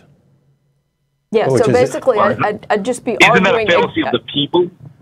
Well, so the thing is, if there's 100 people who tell me what they think the Christian God is, and they all present uh, a model that is contradicted by observations, all 100 of them are wrong. To say that there might still be a Christian God that none of these 100 people were aware of, uh, sure, I can't demonstrate that that's not the case. But what we can tell is that that Christian God doesn't seem to care to clarify uh, all this confusion about a God. And if, if every single person who's ever lived has been functionally wrong in their belief that a God exists because they believe in it, it doesn't matter if there's some other God. If there's a God somewhere out there that nobody believes in and nobody has been arguing for, um, the time to believe it is after there's been a demonstration. Yeah. Well, and there's there's this um, this saying that you know the theist God always hates all the same people that the theist hates. and and the reason Funny for that that. I mean, the reason for that is that it's it's coming right out of the theist's head, you know. And we're we're coming up on we're coming up on time. I want to try and get to a couple other callers, but thanks, James. All right, Hey, thanks. hey, quickly, what's the te- what's the weather in Kansas City right now? Because that's home. 85 and sunny. Cool. All right. Thanks. Yeah, I was born in the Kansas City area. Not that it matters to anybody else, but you know, on occasion, being because you know what, it's hot as hell in this studio right now. I, I don't know about you, but I'm like, I dressed for the studio weather, yeah. so I'm wishing I had a fan at this point. Uh, all right, so no, I'm not going down that path right now. Uh, we'll try this. Kieran in the UK. Thanks for waiting. No problem at all. How you doing? I'm doing pretty well. How are you? Very well. Happy Mother's Day to both of you. Thank you. thank you.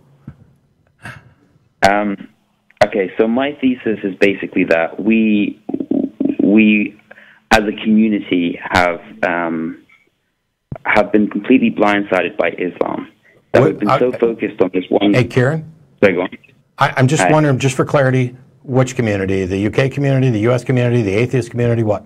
Or everybody? The, the atheist, the atheist community, the skeptic community, that we've been fo- Okay. we've been so focused on this one religion, uh, uh, Christianity, which because that is the biggest challenge in our local environment, that's what we've been embedded in all our lives.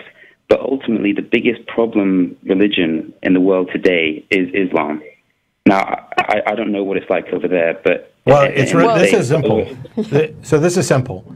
I, I might agree with you that worldwide, the biggest religious threat to individual liberty and freedom is Islam. Uh, wow, what was that noise? Right. Uh, I, I might agree with you that that's the case.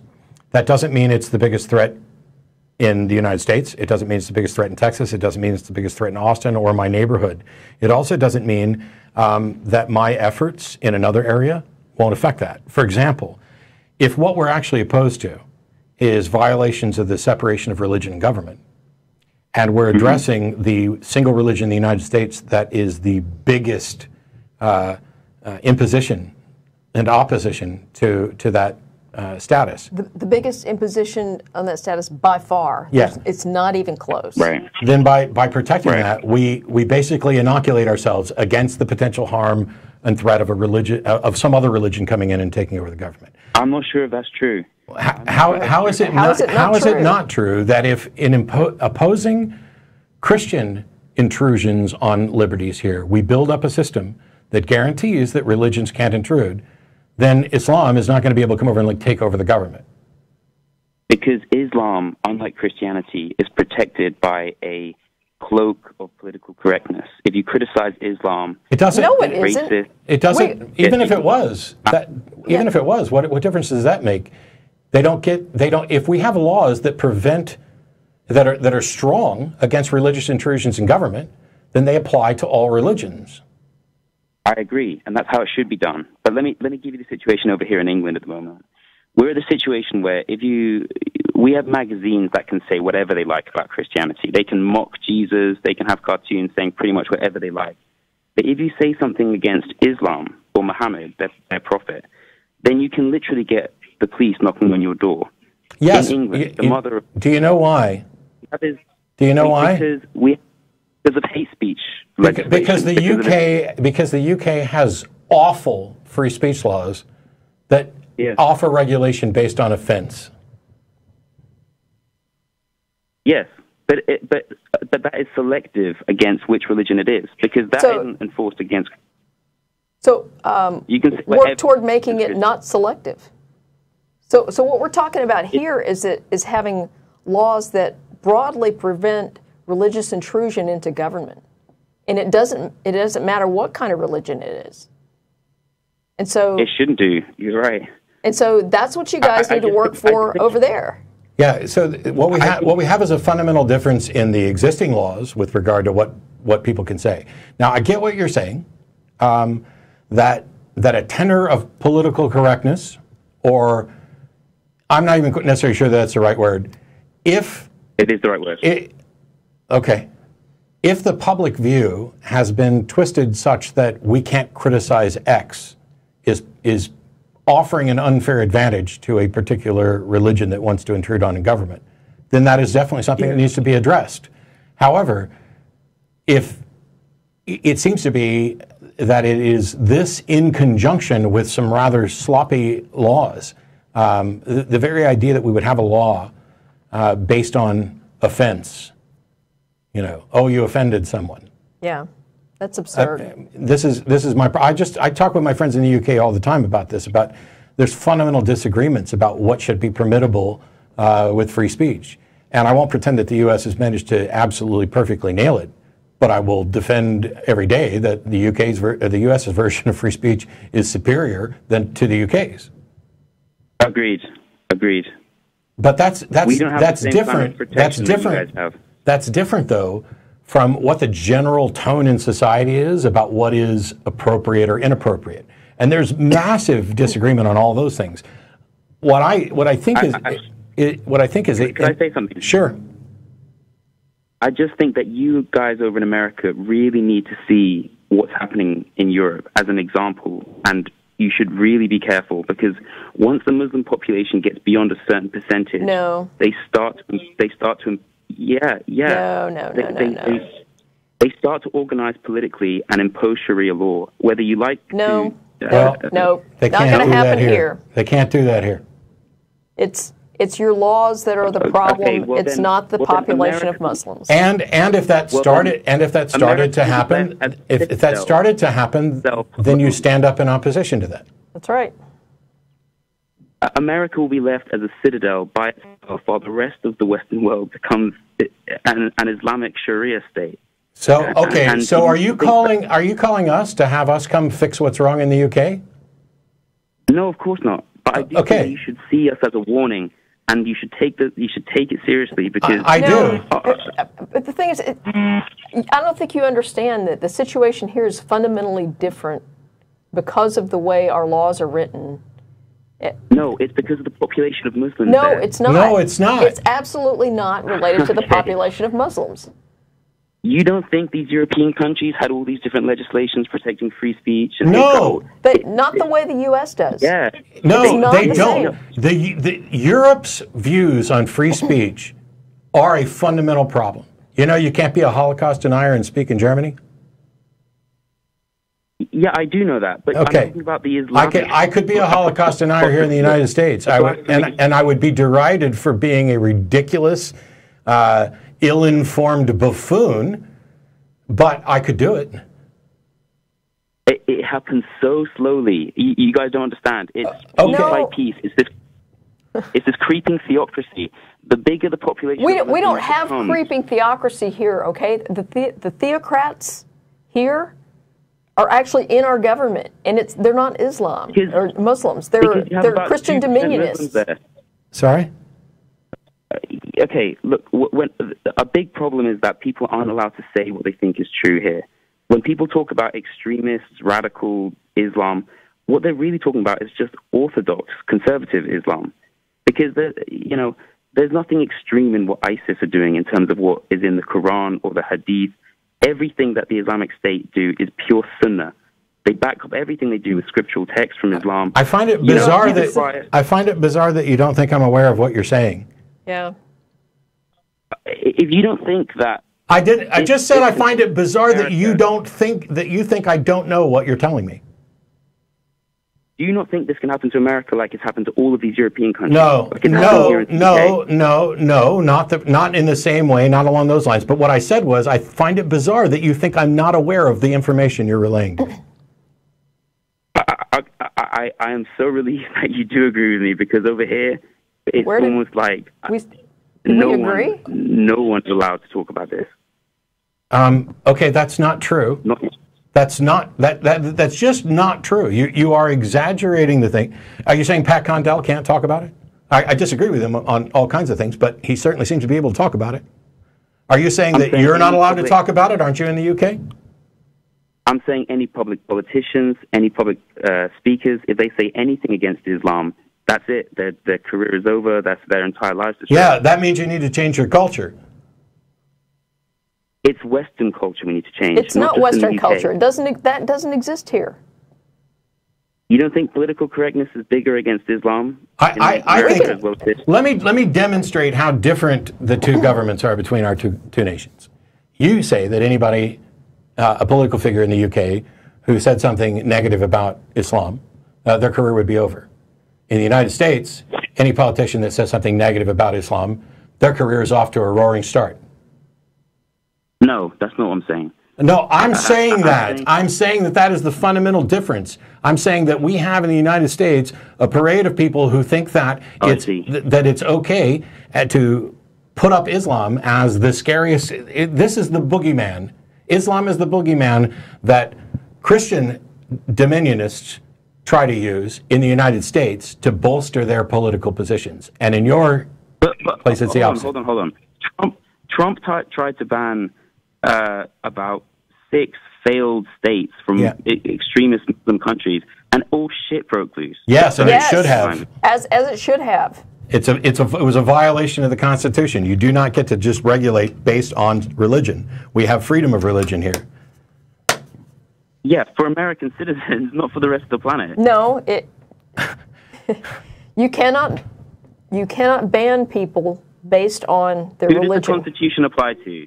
Who does the Constitution apply to? American citizens. Yes. Yes. Is the Not president? rest- It, it also it also limits the powers of the president and the Congress, et cetera. no, However, no, no. how, saying- hang on, hang on, hang on, applies to the hang on, planet. hang on. Are you suggesting that the United States should prevent Muslims from entering the nation? I think that would be an incredibly prudent move on your on your part. Yes. I I think I think that you are a reactionary buffoon um, because there are plenty of Muslims that don't represent a threat in the way you you have become I so agree. you okay. So then that can't be the criteria that we use to determine who we're going to I'm give not asylum talking about to. Muslims. I'm not talking about Muslims. I'm You talking just, about- You just I just asked you, and you said it would be very prudent for us to stop Muslims from entering the country. Yes, it would be Why? because of the ideology that they hold. Okay, but not all Muslims have the same ideology. First of all. Of course, of course. Okay, so if not all Muslims have the same ideology, why would it be prudent for us to stop all Muslims from entering the country? Because within Islam, politics and religion are not different. They're combined within the same thing. I, I understand that that's the case in nation states where the where the Islamic regimes No, are no, the no, no, state. It's not, it's not nations. It, it's not. It's not nation states. It's the Quran. It's the Hadith. It's an entire way of life. It's Do, do you understand that not every Muslim gives a rat's ass what a particular interpretation of the Quran? Do you not understand that there are Muslims living all over Dearborn that are running around getting tattoos and partying and not caring too much about their religion? In the same way that we have liberal and moderate, do, do we, in the same way that we have liberal, moderate, and fundamentalist Christians, this exists within Islam as well. Yes. Do you realize that I've got lots of Muslim friends who drink alcohol and eat pork and do all these other things? Yep. They call themselves Muslims, but they are not Muslims. Okay, but if they call themselves the- Muslim and you stop them from coming into the country because they're Muslims, now you have eliminated their influence on Muslim culture. because there's no way of telling the ones that just want to be peaceful, normal guys and the ones that want to behead you. Sure. How do How I do tell tell- the how do I tell the difference between visitors of the UK who are sensible and who are not? Should we should we stop Well, I- UK visitors? You realize the Muslims are allowed to lie to non-Muslims? If Yeah. it's in the Yes. Do you realize that anyone is allowed to lie? Yeah. I know that Christians aren't supposed to lie. No. Uh, so so wow. Yeah, and yet there Is there are, anything you won't believe? there are all kinds of anybody can justifications of, of Christians lying to non-believers or people of other I other know that, faiths. but they are advised not to lie. Muslims So are advised what? to lie. So what? No, no, I'm talking about doctrine. Okay, So can, what? can you tell the difference between a Muslim who's going to lie and a Muslim who's not going to lie? A Muslim who's going to actually support a theocratic view that's going to marginalize you and one who's not. And if your solution is just to allow none of them into the country, how does that help anything? Because it stops them from committing uh, terrorism. And, Okay, And so so since I can't tell whether or not you're going to say something sensible or not, I should just hang up on you now because I don't I don't know. Muslim. I I don't care. I'm this is about sure. this is about we're way we're way over time on the show, you see, and I need to figure out if I should stop the call now so that everybody can go to dinner, and so I have to make a judgment about whether or not it's in my best interest to continue listening to you to see if you're going to say something Okay. sensible, and if I can't tell, wouldn't it be most prudent of me just to hang up? Well, let me try and say something sensible. I, If why don't you answer that question? This is about what you can identify. Then yes. Okay. Is it possible? Is that? it is it possible that there are violent dominionist Christians who would like to immigrate as well? How many? Uh, no, no, no. is that is it possible? How many jihadists are Christians? Is it possible that there are you not aware of the dominionist Christian movement that wants a theocracy? I don't think he's aware of terrorism it. That we've recently experienced. Okay. Ninety-nine percent of it is Islamic. I don't give a shit. I'm asking. Look, here's You think here. Here are here are two here are two Christians. Tell me which one is a dominionist bent on a theocratic rule of the United States. Can you tell the difference? Christians. Can you tell the immigrants don't fucking have- difference? No. Okay, so now we have two Christians that you can't tell the difference between, and two Muslims that you can't tell the difference between. And you're Yes. you're saying it's prudent to not allow either Muslim in, or would you also say it's not prudent to allow either Christian in? No, I would say look at the track record of Christian immigrants compared to Muslim immigrants. Yeah, I have And- looked um, at the track record of Yeah. Christian immigrants. Christians are trying to make the laws of the government of the United States conform to their religious views. They vote along those lines. They are marginalizing the rights of LGBT communities and more. Should, should we not oppose that? On subways? Are they be, are they beheading soldiers in the You street? know what? This is Are the fallacy of relative privation, where Yeah. you are you seem to only care about what you view as the biggest problem. And I'm trying to point out there are other problems as well. And solving the problems that you can solve will insulate you to some extent against the other problems. And see, this is this is I'm one of the things that no, no, no, no. priorities. Stop, stop. Um, we started this segment of the show with a discussion about the discriminatory legislation that the Texas legislature has put forward here, and it's based on Christianity, a Christian interpretation of what the laws should look like. The effect of those laws will be that transgender kids, gay kids will kill themselves because we know that's what happens when they're subjected to reparative therapy or they are completely excluded from public life or their parents, they're outed to their parents. Um, when they have no safe place, they kill themselves. They put forth laws that restrict the ability of women to even access basic medical care. And the net effect of that is the maternal mortality rate in this country looks like, or actually in this state, looks like that of a third world country. Because women are not being able to access basic health care, including prenatal care, um, reproductive health services. There's a whole range of stuff. People die because of the laws these people pass, and they pass these laws based on Christianity. It's not based on Islam. They are trying to enact a theocracy here. This is what we're up against. And that's why we're saying it's not about political correctness that we don't, you know, like lose our shit over Islam all the time. Yeah, I'm aware of what's going on in Europe and, and ISIS. And you guys need to work on your laws. But we don't have that same problem here. We have another set of problems, and it's focused on, on Christian dominionism. I wish we had the problems you guys had. Well, that's all I can say. Well, fix your shit and you'll yeah. have those problems. I can guarantee you, you'll end up with those problems because uh, while C of E is is this largely, you know, warm, fuzzy, I don't give a damn about religion, religion. Um, once once you get rid of your Muslim problem and fix your laws uh, regarding free speech, I'm pretty sure the Dominionists will be parading your way just like they've done in Australia. Yeah. Uh, it's it's the the issue here is you you have a very let me see if I can make this easy. You have in your nation a problem that is a huge concern for you and others, and I see that and I agree with it. I, I agree that there is a problem there and that you, you you need to do work. But calling us to tell us, hey, you guys should watch out. We've got this problem over here. We're aware of that, but we got problems of our own. And so it's about triage. It is about figuring out what you can do and what is most important and significant at that time. The problems in the UK with regard to Pick your poison. It doesn't even have to be, you know, Islamic stuff. It could be UKIP or whatever else. That whatever problems are going on there, I have my own batch of problems here.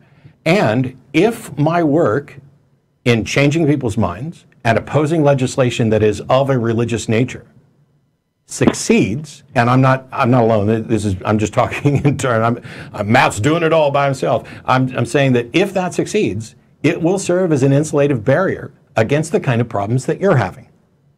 Is it a foolproof thing? Is it no? Is, is there a guarantee? No. But what I'm going to try and do is work on the side of freedom and liberty and not pretend that because I can't tell the difference of who the bad guy is in this circle versus the good guy in this circle, that it's good for me to just disregard all of them. Instead, first of all, one of the, the, the radicalized ISIS people in the United States, they're not immigrants. A good chunk of them were, were, were born here. Okay? Amen. So if we're going to work on changing people's minds, rather than saying, I can't tell which of you is evil and which one of you is not, so I'm not going to have anything to do with you, any of you. Why not build communities that get people to acknowledge what the laws should be, how we best protect our citizens, how we best encourage freedom, and fundamentally reform Islam by changing the world around it in the way that we have dramatically, but not wholly, reformed Christianity by changing the world around it. Okay, you, hey, you say that we should try and reform Islam. I would argue that we are already experiencing an age of reformation in the Islamic world. Me too. Boko Haram, the Islamic State, Al Shabaab, Al Nusra, Al Qaeda, Al the other, Al whatever. These are all reformation movements aimed at bringing back the faith to its pure and original form. Yes. They are sadly uh, very accurate in their assessment of Islam and Muhammad. But that is what reformation is. It, reformation they, they are accurate. The original source. They are accurate in the versions. It, it's basically it's cherry picking. It's the same thing the Dominions do. It's the same thing the God hates fags people do. Um, they're going to cherry pick the things, and they are on, on firm no, no. biblical footing. They are on firm it's Quranic not, footing. It's not even cherry picking. It's just it is cherry picking. Within the Quran, there are two dramatically different versions of Muhammad and what he's arguing for. There's Muhammad uh, before and after Medina, and th- whichever one you yeah. f- focus on determines what your ideology is going to be. Yes, but because of abrogation, the latter verses within Medina are are prioritized. So the so the Meccan verses are almost irrelevant. All those peaceful things. They're not irrelevant. They're not irrelevant across the board. Yes, it's a troubling. Okay, yeah, yeah. Oh my God. Yes, it's a troubling situation. The fact that we haven't solved the f- problem entirely. There is no solution. There is no solution. Well, then why are you never... talking to me? You're completely wasting my time. We run 12 minutes over, and you are so negative minded that you think there is no solution. I can give you a number of solutions. Reform towards the Mecca verses. Then you go to work to demonstrate that there's no good reason to believe in a God or in these other things. And then you work to establish uh, interactions between the, the nation states that are fundamentally based on Islam and other free nations, and you build up and you bombard them and you give them free internet access and you build up the, you, you relieve the poor and you show that there's a better way of life this is an overwhelming impetus for change, recognizing that there is a better way of life, that your religion that you've been that you bought into that makes you wear a sack so that nobody can see anything but your eyes, so that you can't go out, you know, without the company of men, you can't drive a car. This sort of rebellion is happening. The fact that there are violent regimes that are focused on one aspect of Islam, which is horrific, is a real problem. The fact that we haven't solved all the problems doesn't mean there is no solution. And I have absolutely no time and no interest in wasting time with someone who is relegated to the position that there is no solution. And if all you did was to call up and bitch that there's no solution, and that we're you oh this is terrible the sky is falling the sky is falling it's going to keep falling until jackasses like you recognize that you shouldn't give up that you should try to change the world. That humanism, skepticism, education, these are the cornerstones of how we build a better society. And just because it doesn't happen overnight for the spoiled brats who want everything now and everything fixed and everything free, you got to actually do some work. And if you throw your hands in the air, you're not a friend of me, and I don't need to hear from you on the show. On that note, we'll be going to Star of India restaurant there at the Yeah. thing. I don't know if you had anything to add to my. No, it's just like it reminds me of the people who say, "Oh, you, you know, the uh, regressive liberals are afraid to say radical Islamic terrorists because that's a magic incantation that." I, I don't know if I'm a regressive liberal or not. It just depends on who you shit. talk to. But I'm happy to talk about radical Islamic terrorists because it's a real thing, Yeah, uh, causing all kinds of problems. yeah, Doesn't necessarily mean that there aren't solutions to the problems. And if you if you've got your mindset that there's no solution, and you're willing to throw out the baby with the bathwater, we'll Yeah. throw you out, and I'll move on to keep doing what I'm doing. Doesn't this? By the way, I mentioned the fallacy of relative privation, which not everybody's aware of, but it comes up over and over and over and over again. And it's this idea that you can only focus on the one biggest problem. Why are you focused on, you know, curing athlete's foot when people are dying of cancer? Well, maybe because there are people also working on that, but we have a cure for athlete's foot now. Oh, well, why are you focused on, you know, this little simple piece of legislation here instead of whether or not, you know, um, climate change? Well, I think climate change is a really big issue that we should, in fact, be focused on. I think we're making a lot of mistakes there. But to say that we should only focus on that to the exclusion of other problems is a mistake. This idea of triage, of figuring out, first of all, what can I do? That you've all heard think globally, act locally. When it comes to morality, one of, one of the, the tenets that I ascribe to is what would the world be like if everybody took the action that I'm considering taking? Now, of course, there's exceptions to that. If, if, if I'm getting ready to eat a uh, sandwich and everybody in the world ate a sandwich all at the same time, that's a problem. But in the sense of trying to figure out decision making issues, if everybody in the world decided that there's no solution and we should give up, I know that that world is worse yep. because that world ceases to exist. We'll see you next week. Thanks to everybody in the studio for making the show and the people on the other side of the glass who were applauding and laughing and whatever else they Yeah. did.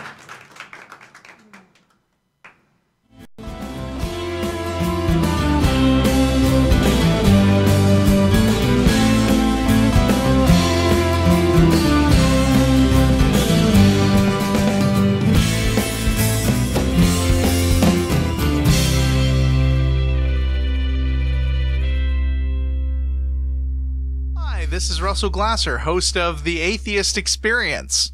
You know, The Atheist Experience is made possible by volunteers and the generous support of viewers like you.